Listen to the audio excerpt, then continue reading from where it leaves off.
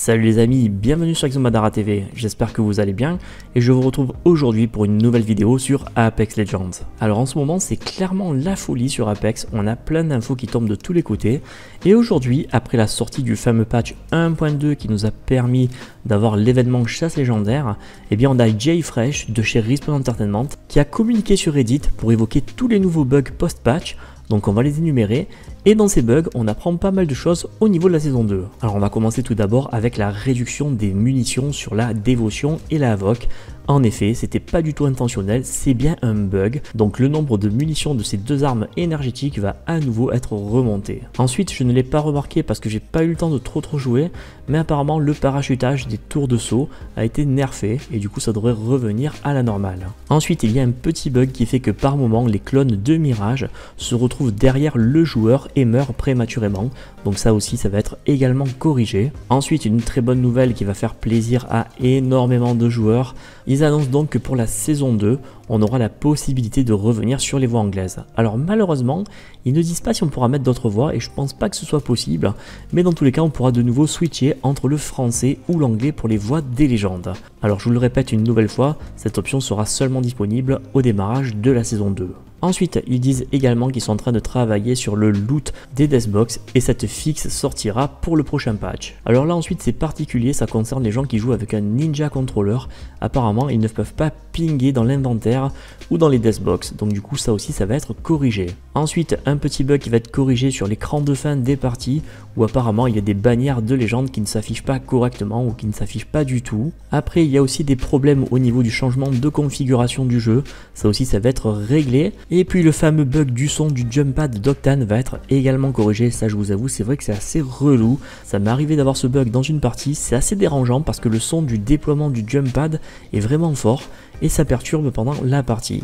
Ensuite ils vont corriger des erreurs de script, alors ça par contre je ne sais pas ce que ça veut dire mais bon voilà c'est prévu dans les patchs correctifs à venir. Ensuite apparemment il y a des problèmes de configuration des touches avec certains contrôleurs, donc du coup pareil ça va être corrigé. Et puis pour reparler de la vidéo d'hier et du fameux bug qu'évoquait Shroud concernant la précision des armes qui avait été baissée quand on fait des slides, enfin des glissades, et eh bien effectivement c'était bien un bug donc du coup on va retrouver le réglage d'avant. Alors après est-ce que c'était vraiment intentionnel ou non, on ne saura jamais mais dans tous les cas Shroud a pleuré et du coup ça va revenir comme avant. Ensuite ils expliquent qu'ils vont travailler aussi sur des latences au niveau du serveur, au niveau du data center et des performances générales du réseau. Ensuite, concernant les possibilités de changer les configurations du jeu, notamment pour faire des auto-exec qui permettaient d'avoir une meilleure visibilité et lisibilité sur le jeu, ils ont dit clairement le changement visait à supprimer la possibilité de modifier le jeu pour obtenir un avantage concurrentiel, nous entendons dire que certaines commandes ont maintenant disparu pour les joueurs qui les ont utilisées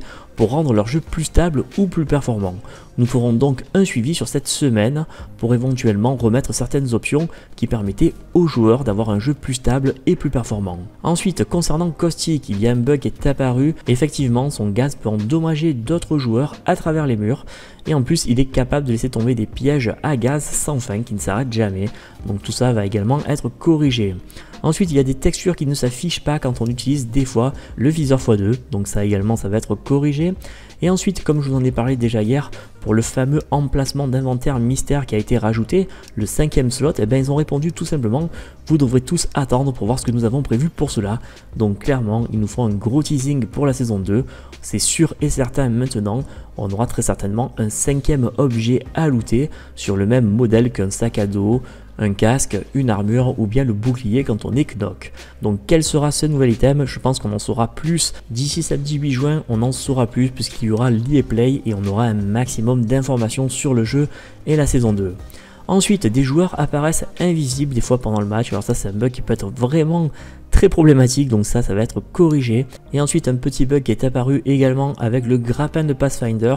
Il semblerait que dans certaines situations, après l'avoir utilisé, on met du temps à avoir notre arme qui revient dans les mains. Ensuite, vous avez été nombreux et plusieurs dans les commentaires à m'évoquer des fameux matériaux de construction avec des drapeaux sur la map. Alors effectivement, on retrouve ces espèces de matériaux près de la ville cimetière et c'est également disséminé un petit peu de partout sur la map et du coup sur Reddit la rumeur est en train d'enfler, tout le monde pense que c'est des matériaux qui vont permettre à faire des modifications sur la map de Kings Canyon. Donc attendez-vous à avoir une sorte d'information de ce type au niveau de l'IA Play du 8 juin concernant une modification de la map. Les développeurs en avaient déjà parlé il y a quelques temps, avaient fait un gros sous-entendu, je pense qu'on va avoir confirmation samedi. Ensuite pour terminer, il y a pas mal de joueurs qui ont réagi sur Reddit. En effet, l'ultime de Mirage a clairement été buffé, car il rend complètement invisible pendant un laps de temps, et du coup c'est beaucoup plus efficace qu'avant. Alors bien évidemment, si jamais vous tombez face à un mirage, soyez très attentif au niveau de vos oreilles, parce qu'en fait quand il utilise son ultime, on entend vraiment un son qui permet de différencier, et c'est à ce moment-là qu'il va falloir se méfier qu'il ne vous tombe pas dessus dans le dos. Cependant, malgré son invisibilité, on peut le repérer grâce à de la poussière, ou alors si jamais il est dans l'eau, on verra l'eau bouger. Voilà les amis, c'est tout pour aujourd'hui, j'espère que vous avez fait le plein d'informations. Maintenant, place à l'e-play qui va avoir lieu demain. J'espère qu'on va avoir un max, max, max d'informations qui vont nous hyper. Je n'en doute pas une seconde. Dans tous les cas, je vais vous tenir informé. Alors, je verrai en fonction du live, en fonction de mon emploi du temps et de mon planning. Si jamais je fais un live samedi soir pour qu'on fasse un récapitulatif et un gros résumé de tout ce qui a été dit, ou alors si je le fais dimanche matin en vidéo. Dans tous les cas, je vous tiendrai au jus en story sur mon compte YouTube ou alors sur Twitter. Je vous remercie à tous d'être restés jusqu'ici. Si jamais vous êtes chaud pour un live samedi soir concernant l'EA Play, n'hésitez pas à me le dire dans les commentaires. Comme ça, je verrai un petit peu comment je m'organise. N'hésitez pas à mettre également un petit pouce bleu ou à vous abonner à la chaîne si ce n'est pas encore fait et aussi également visionner une petite pub sur Utip pour me rendre service. Ah oui, j'ai oublié de vous demander votre avis. Je voulais savoir si par moment ça vous intéresse que je fasse des lives dans lesquels on ouvre des packs Apex. Maintenant qu'ils sont plus intéressants, qu'il y a des skins qui sont plus sympas, et eh bien si ça vous botte, de temps en temps on pourrait faire du pack opening de pack Apex. D'ailleurs si jamais vous voulez acheter des packs Apex ou des pièces Apex plutôt, je vous invite à aller sur Instant Gaming. Je vous mets mon lien affilié si ça vous intéresse pour avoir une réduction supplémentaire, mais c'est vraiment le site qui vous permet d'acheter des pièces Au plus bas prix. Voilà les amis, je vous remercie à tous et je vous dis à très bientôt en live ou en vidéo.